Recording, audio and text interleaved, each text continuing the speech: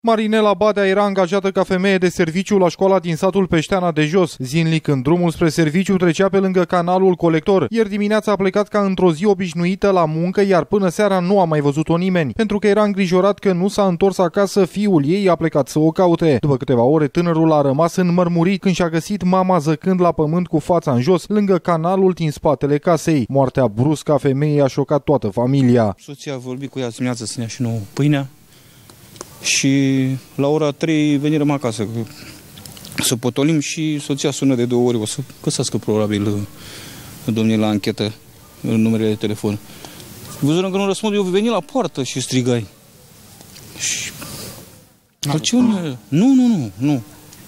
Chiar nimeni încă și soția sună de două sau de trei ori și nu răspunsă. Avea drumul de venea la școală, era prin spatele curții și venea acasă, avea gâștele, le dădea drumul pe canal și venea. De la ce oră n-a mai fost văzută? Nu știu ce să vă zic, pentru că am, lucrez, am la servici. La șapte jumate am sunat eu să-mi iau pâinea la magazin.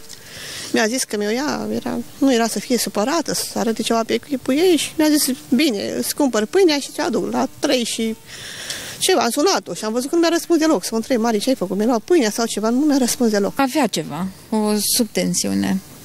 Și eu când i-am luat odată o tensiune pe vară, că i-a fost rău în aparat aceea, uh, fibrilație. La fața locului a sosit și un echipaj al poliției. Criminaliștii nu au descoperit urme de violență pe corpul victimei. Victima nu prezintă urmele specifice unei agresiuni, urmează să se facă autopsia cadavrului, după care se va stabili cu exactitate cauza decesului. Altceva nu vă pot spune la acest moment. E moarte suspectă? Moarte suspectă, sigur.